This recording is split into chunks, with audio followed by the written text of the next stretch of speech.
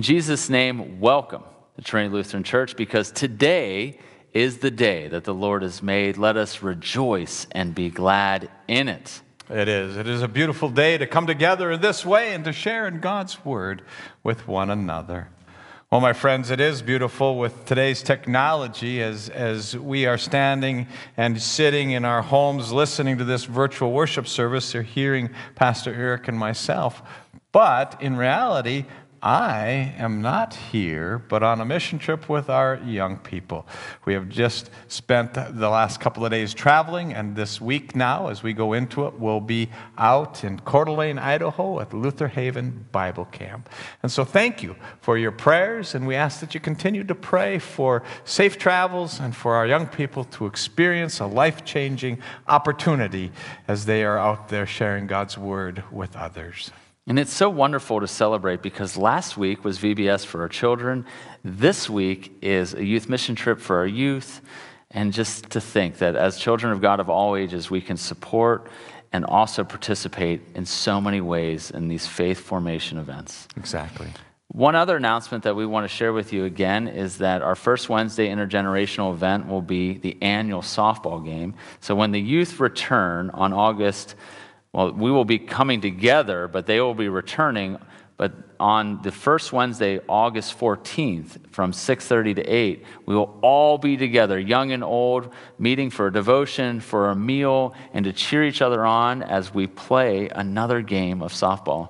And I'm excited to take you on again as you lead the youth. Unfortunately, you're undefeated, meaning we've never won. But maybe this year, our older team members will come through and make an improvement, and we do some extra practicing. You know what? Um, if you should just need some assistance, I do know of a retired baseball manager that uh, may help you out. We may have to call upon him and pull him out of retirement to coach us for that day. With all that being said, my friends, let us prepare our hearts and minds for worship.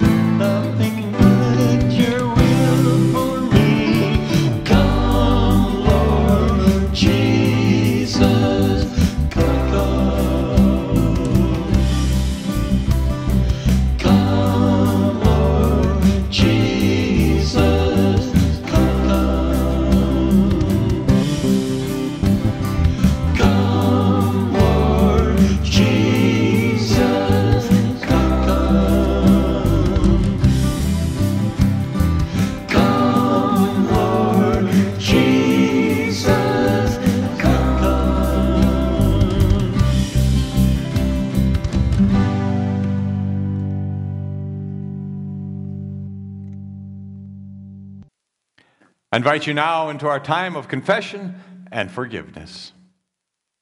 God, we hear your invitation to us. Come to me, you who are weary and heavy burdened, I will give you rest. We acknowledge our soul's need for rest and quiet nourishment. We lay down our burdens. We acknowledge our soul's need of connection with you. We confess our tendency to overlook rest as a necessary part of soul and self care. We confess our pride in thinking that our work is so important that we may not set it down.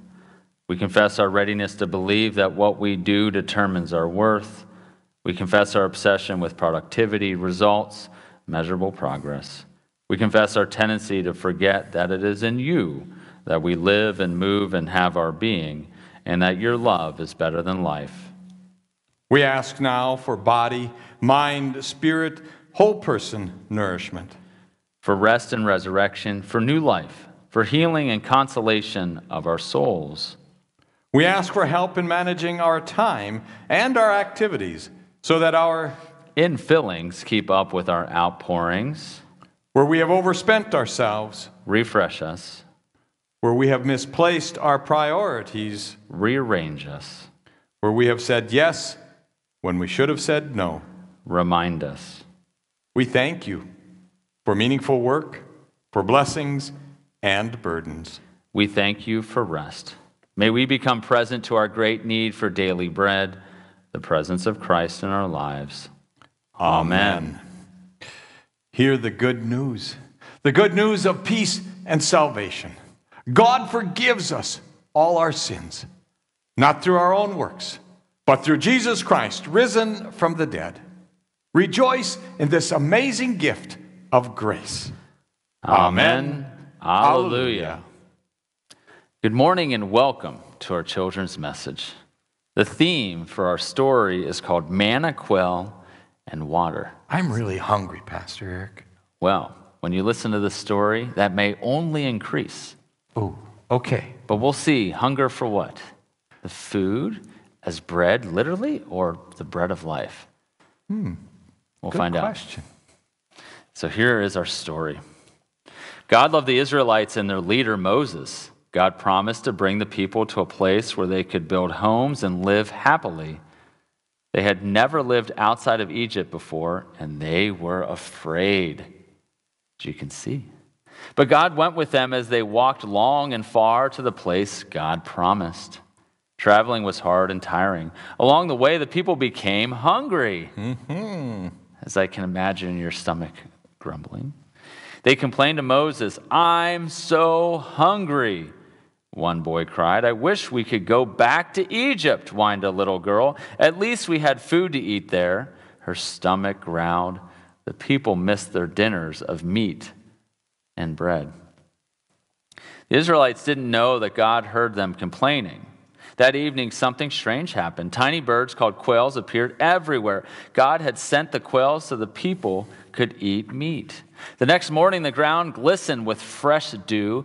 Even after the sun dried up the dew, there was still something covering the ground. It looked like bread had rained down from heaven. It was manna. The manna looked like tiny seeds and tasted like bread. The people ate and ate. Every day, God sent manna and quails so that the people had food to eat. Israelites kept traveling toward the place God promised. After a while, they ran out of water. Even though God had given them food when they were hungry, the people still complained, My mouth feels dry like a desert, sobbed a child. The people were thirsty. This time, God told Moses to hit a rock with a staff. When he did, water gushed out of the rock. The people had more than enough to drink. God gave food and water to the Israelites every day. God took care of the people, just like God promised. Wow, that's a beautiful story, Pastor Eric. One of the things that I listened to when you were talking about is that these people were traveling. have you ever traveled and you pack a lunch? Right, because I have. for some reason, whenever we travel, we always get hungry. So I can relate to these people. But when we travel, moms and dads are the ones that have food for us that uh, help us to overcome the hunger. And in this story, it was God that had food for the people that were traveling. Right? A beautiful thing that God made a promise that He was going to take care of them. And this is how He did it. And God felt or fed the children of God, as you stated, those Israelites, each and every day. But what's fascinating is not only did God literally provide them food and water and bread, but we hear in Jesus' teaching later in the gospel that He is the bread of life that provides us eternal life. So not only does that food sustain us, literally, but also provides us eternal life beyond any need that we may have connected to our temporary hunger or thirst. Exactly. Exactly. So, whenever we receive food, whether it be on a trip or whether it be at the dinner table or wherever it is where our hunger is satisfied, always, always remember that it is God that is supplying us with that bread. But not only the bread that nourishes us, but like you said, the bread of life that is there for eternal life.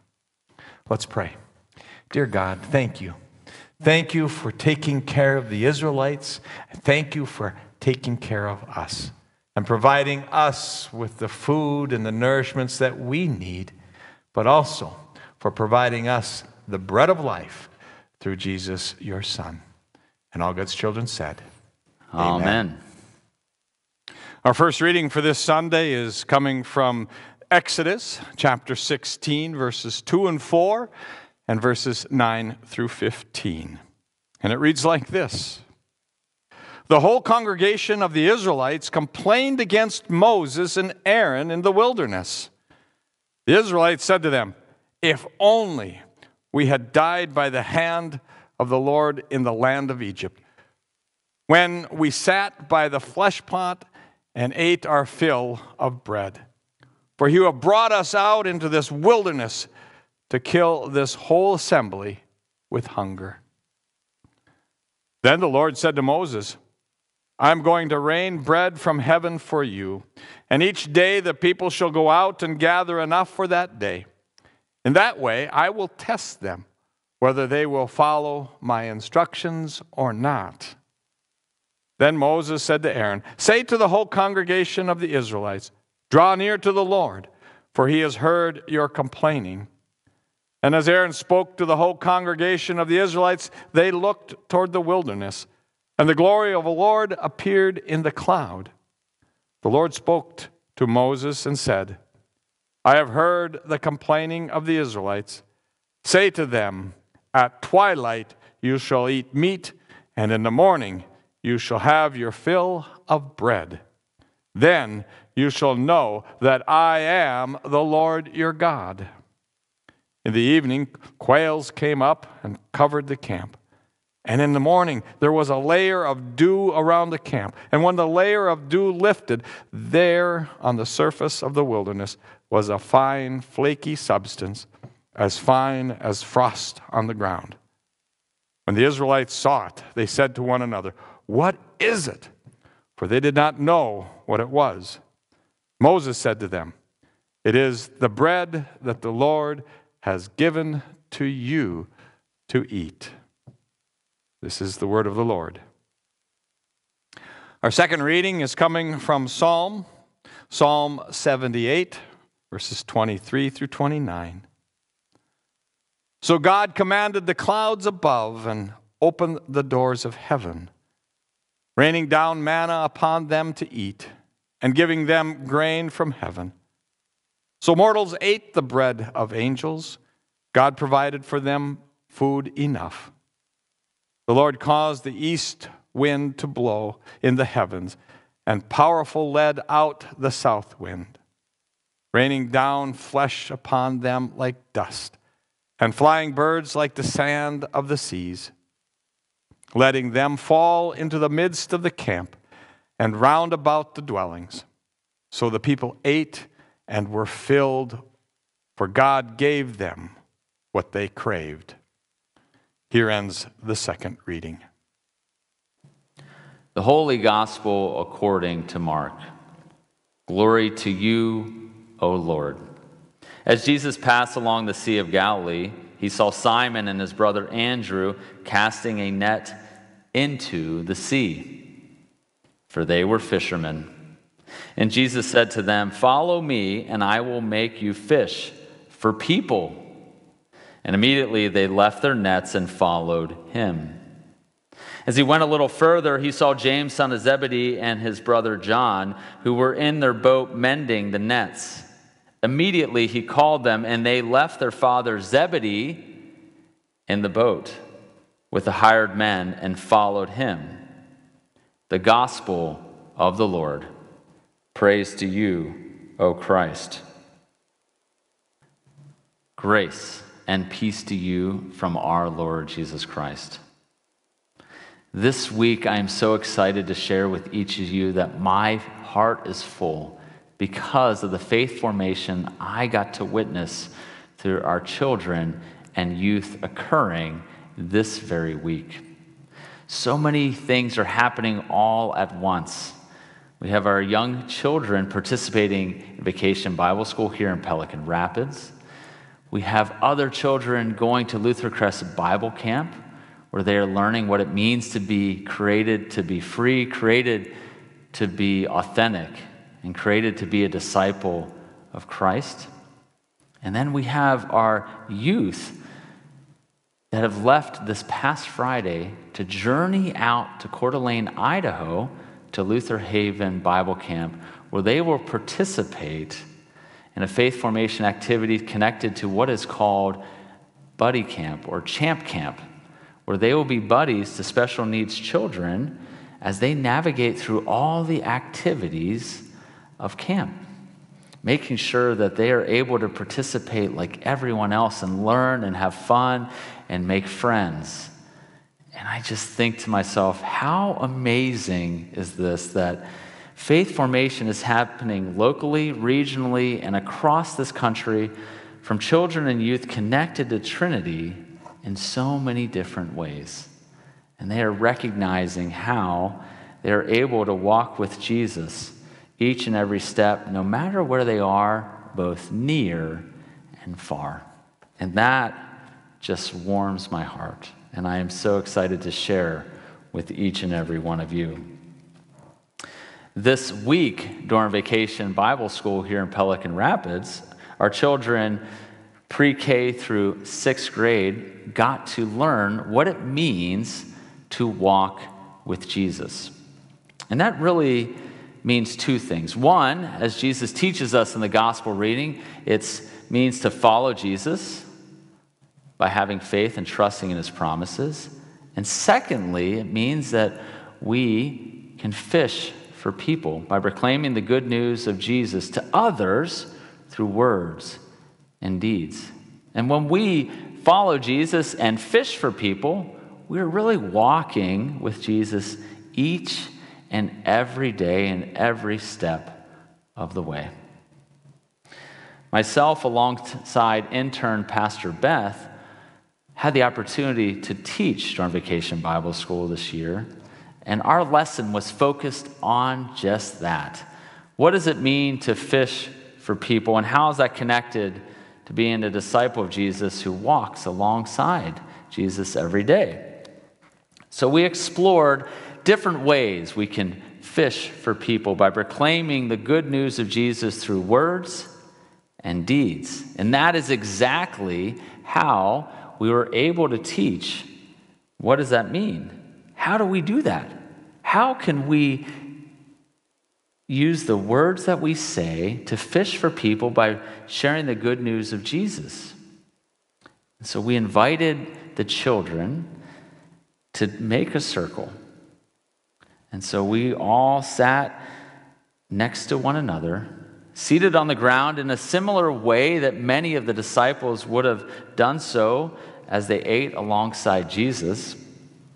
And we asked them this simple question and said, What do you think Jesus would have said before he ate supper alongside all of the disciples?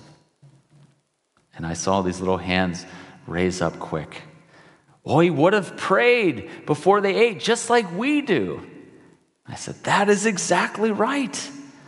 As I watched their confidence grow, and I said, Okay, so if you know that Jesus would pray and you pray before supper, what are some prayers that you share with one another around the table before you eat, whether you're with your family or your friends or at church?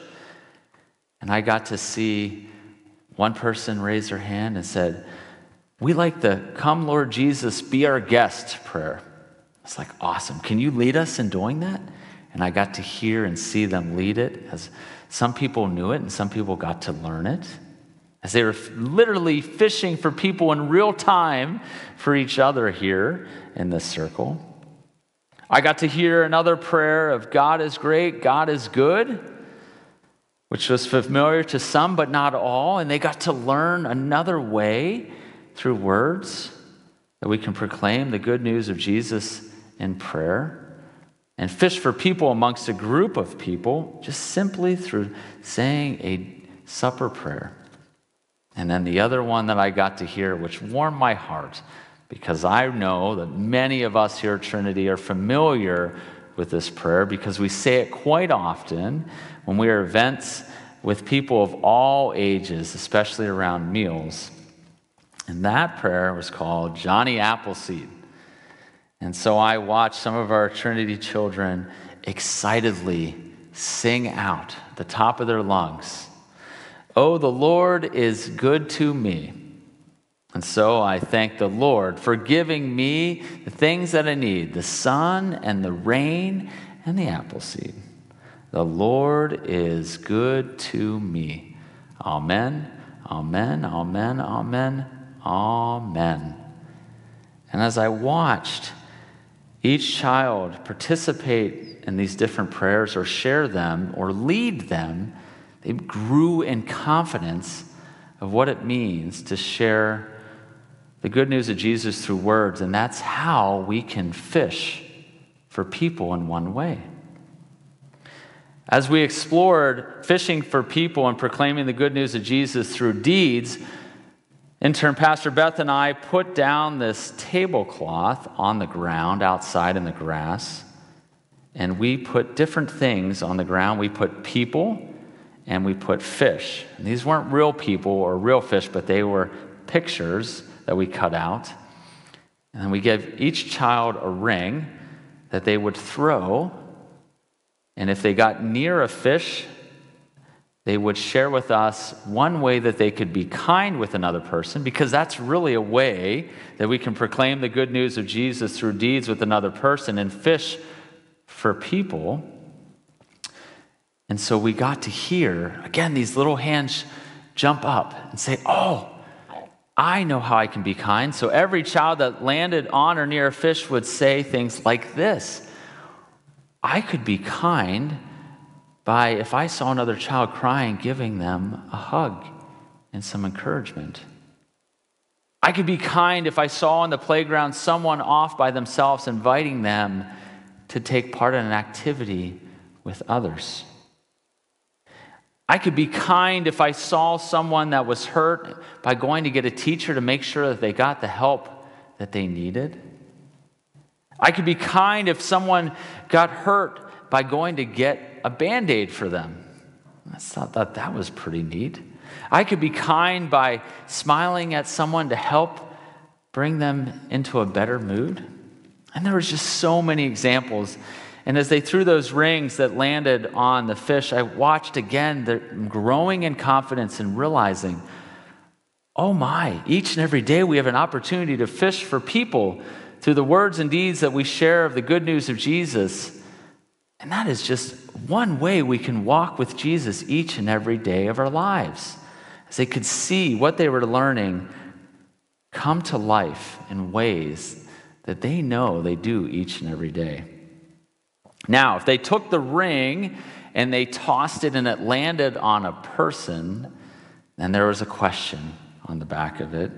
And if they paid attention to our story that we read, they could gather up those people as they continue to fish for people.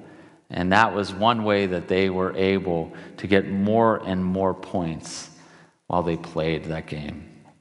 And I will tell you, it has warmed my heart. And I am so honored to be able to share that with you today as I just saw our pre K through sixth graders grow in confidence that they understood what it means to walk with Jesus each and every day. Whether that was proclaiming the good news of Jesus through words and deeds, by fishing for people, whether that was following Jesus by having faith, or recognizing that they can walk alongside Jesus in everything that they do, no matter what.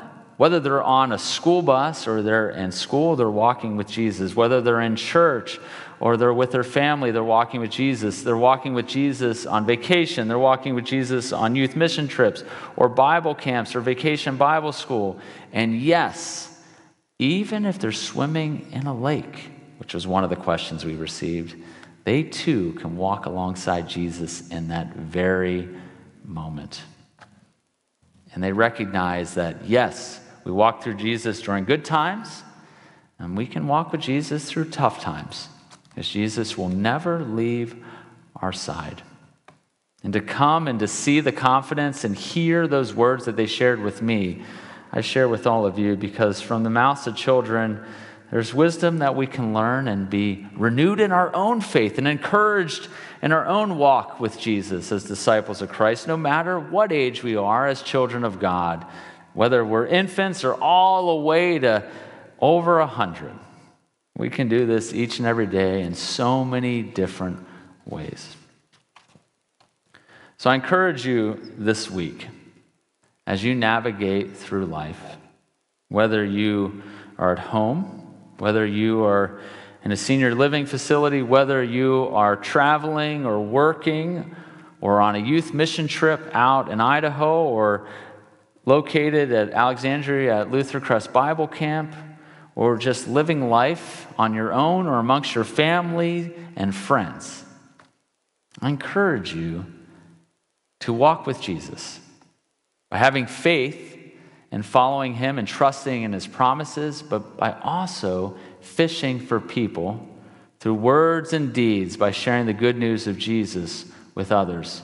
And when you fish for people, remember what you do.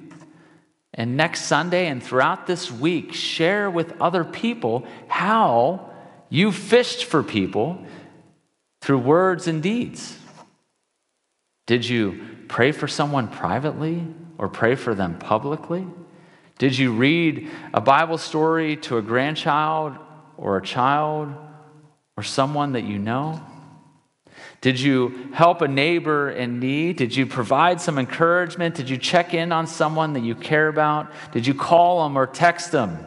Did you email them or send them a letter? There are infinite ways that we proclaim the good news of Jesus through words and deeds and fish for people both near and far. And when you do that, I invite you to share with each other how you do that this week and definitely next Sunday because we will also have an opportunity to hear how our youth mission trip went and how they fished for people all the way across the country in Idaho. And through the good news of Jesus they shared by their words and deeds and activities that they engaged in alongside their buddies during Champ Camp. And we can be reminded through all of these examples that we walk with Jesus each and every day in an, an infinite amount of ways. And that is good news. Amen.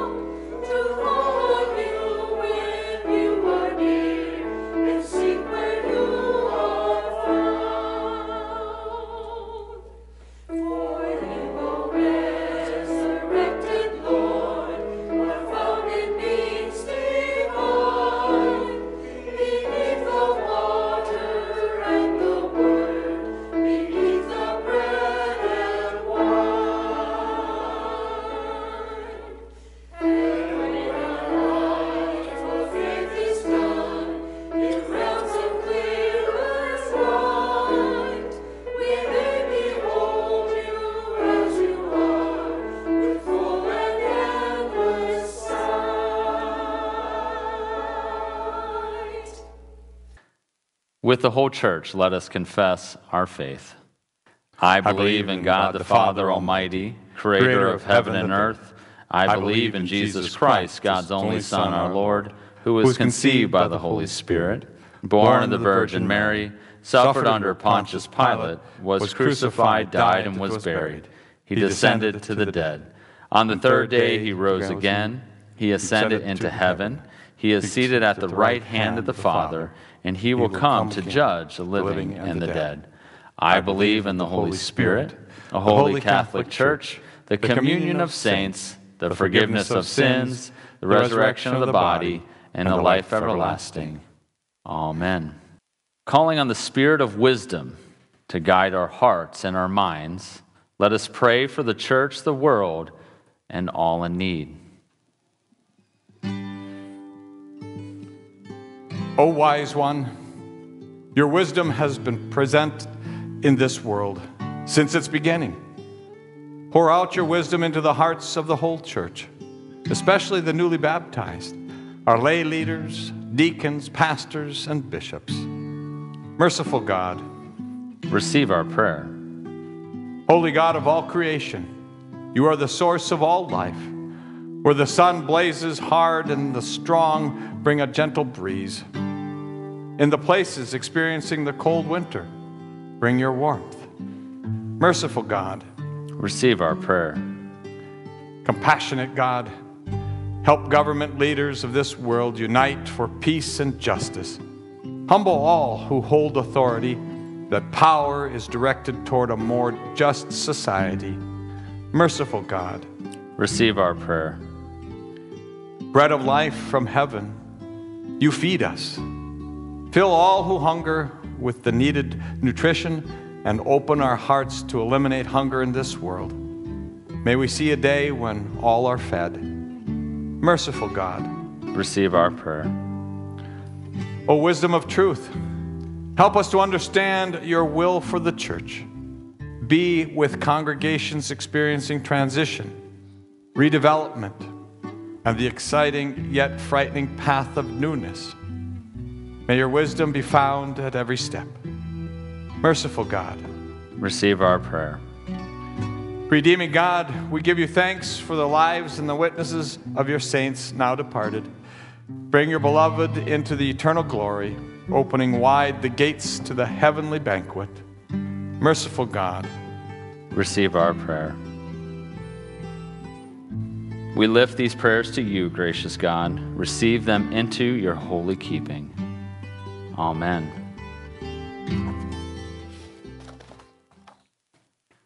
The peace of the Lord be with you. And also with you. Let us all embrace each other in Christ's reconciling peace. God's peace, Pastor Eric. Peace be with you, Alan. God's peace be with each of you. At this time, let us give thanks for the offering we receive to proclaim Christ through word and deed here in Pelican Rapids, the state of Minnesota, our country, and beyond. Let us pray. Merciful God, we, we offer, offer with joy and thanksgiving, what, what you have first given us, ourselves, our time, and our possessions, signs of your gracious love. Receive them for the sake of him who offered himself for us, Jesus Christ our Lord. Amen. Amen. Lord, remember us in your kingdom and teach us to pray. Our, Our Father, who art in heaven, hallowed be thy name. Thy kingdom come, thy will be done, on earth as it is in heaven. Give us this day our daily bread, and forgive us our trespasses, as we forgive those who trespass against us. And lead us not into temptation, but deliver us from evil.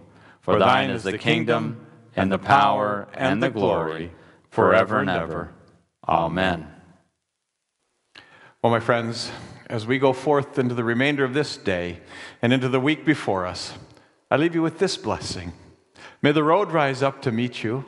May the winds be always at your backs. May the sun shine warm upon your faces and the rains fall gentle upon your fields. And until we meet again, May God hold you in the palm of his hand. Amen.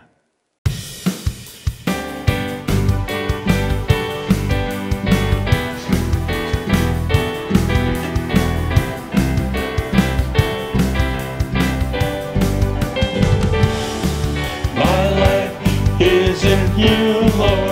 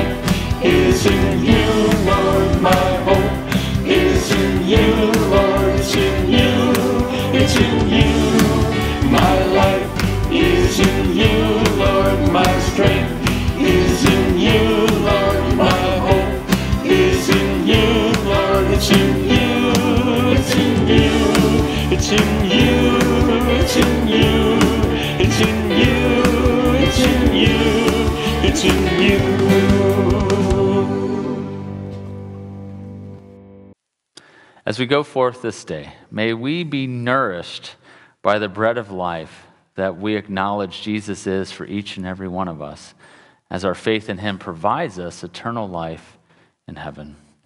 May that be a promise that we can hold on to no matter what we're experiencing each and every day of our lives.